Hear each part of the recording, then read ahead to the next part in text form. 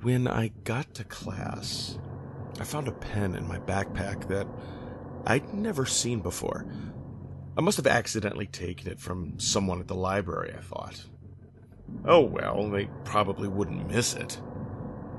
The professor still hadn't arrived, so I opened my notebook and doodled a caterpillar on a leaf. After I moved on to drawing a flower, I noticed something wiggling on the paper. The caterpillar was crawling around the leaf. I slammed my notebook shut. When I peeked, the caterpillar was making its way down the stem. I ripped out the piece of paper, crumpled it up, and threw it in the trash just before the professor walked in. I don't know how it's doing that, I said to my roommate Alan. I sketched a butterfly and it immediately began to flutter around the paper. Whoa, he said. What happens if you write words? That hadn't occurred to me.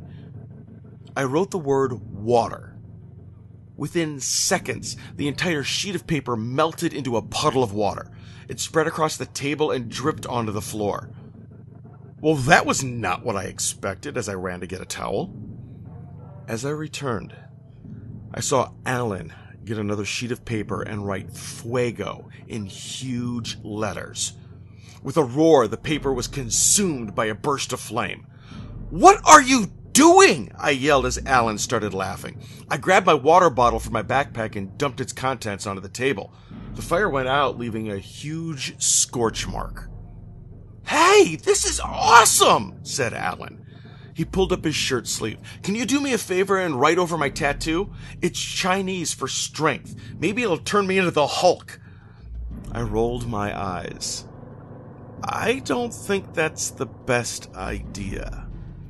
Okay, I'll do it then. Before I could move, he snatched up the pen and hastily traced over the tattoo on his shoulder. I frantically searched, but the pen was nowhere to be found. Staring at the large, snorting animal in front of me, I realized that his tattoo didn't mean strength. It meant pig.